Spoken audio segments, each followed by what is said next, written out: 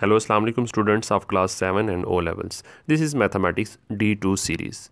The students who are studying D2 series they can take help from my lectures and the students who are studying other than mathematics D2 series for example if you are studying any other mathematics books and you are studying at class 7, 8 or 9 then still you can take help from my lectures. So the students who have this book available nearby you you can open the book page number 104 exercises 3a this is question number 4 i have uploaded question number 1 all parts of question number 1 all parts of question number 2 and 3 as well. And now i'm going to start the question number 4 you must have a copy or register to note down my lecture. This is the basic requirement to listen to online mathematics especially. So the part A is 4 into 2a plus 3 plus 5 into a plus 3. You, uh, you can stop the video here and you can note down the question first of all. Okay, if you have noted it down, now listen to me carefully.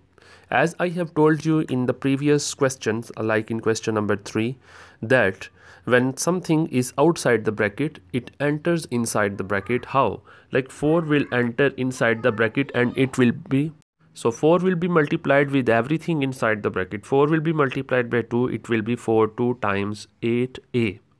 4 will be multiplied by 2a. 4 2 times 8 and a will be as it is. Now 4 will be multiplied by 3. 4 3 times 12. Okay, you can also note down on your copy till here. But the question hasn't been finished yet. Now put the plus sign here uh, you can see everywhere in the question there is positive sign. Now it's the turn of 5 to enter inside the bracket. 5 will enter inside the bracket and the bracket will be opened. 5a times 5a and 5 will be multiplied by 3 5 3 times will be 15 you may be thinking that the question has been finished. Because in the previous question question was finished in just the second step. I mean the, in the first step. This is actually the first step you can see 8a here and 5a here. Now this question number 4 is the combination of question number 1, 2 and 3. Like in question number 1 we used to do addition or subtraction. Here same things are going to happen. Now we have done multiplication. Now the addition or subtraction will go on because the now bracket has been finished. That's mean multiplication has been finished.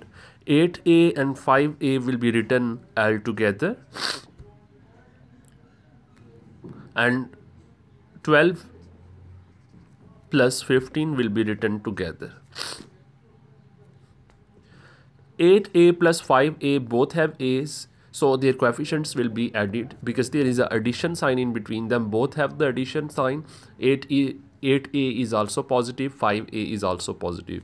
So both of them will make up uh, 13a now 12 plus 15 bigger value is 15 its sign is positive so positive sign will be used. 12 plus 15 is equal is equal to 27 now 13 cannot be added in 27 because 13 has a but 27 doesn't have.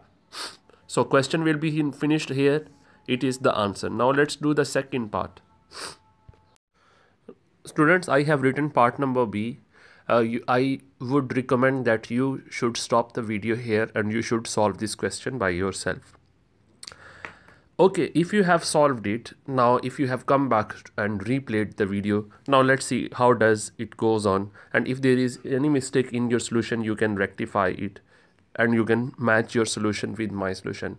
9 5 times 45 minus 9 2 times 18 b now plus 3 6 times 18 because of plus outside of the bracket no sign is changed. Minus 3 5 times 15b here is 18b here is minus 15b these will be written together. Minus 18b minus 15b plus 45 plus 18 bigger value is 18 its sign is negative minus minus is plus. 18 and 15 will be 33b and bigger value is 45 its sign is positive. 45 and 18 is 63 this is the answer. Thank you for watching